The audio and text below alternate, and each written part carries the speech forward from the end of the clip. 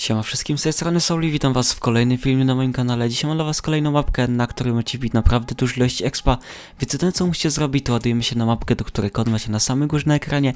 Jeżeli to was zawodowało, chcecie mnie wesprzeć, klikamy sobie tutaj E, klikamy potwierdź, jeżeli to zrobiliście, bardzo wam dziękuję. Idziemy sobie teraz do tego miejsca, wchodzimy w to zielone serduszko, idziemy sobie do mapki, na której pisze numer 16, klikamy sobie tutaj G i czekamy aż was przeteleportuje. Jeżeli was tutaj załadowało, to po prostu schodzimy sobie tutaj na sam dół i idziemy dokładnie do tej rampy, która jest tutaj. Musimy do niej przejść.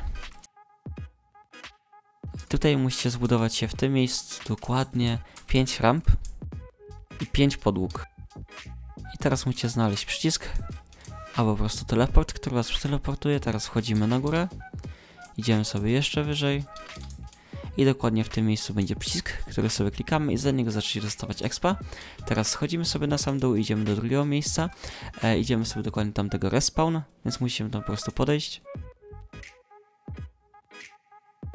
Jeżeli już tutaj jesteście, musicie się zbudować tutaj do góry. I w tym miejscu musimy zbudować podłogę. Teraz rampę tutaj w ten sposób. I tutaj musicie zbudować 10 ramp. I teraz 4 podłogi. I w tym miejscu będzie przycisk, klikamy go i za niego zacznie dostawać expa. Dzisiejszego filmu byłoby na tyle, mam nadzieję, że wam się podobało i życzę wam jego expienia. Do zobaczenia w kolejnym filmie. Siemanko!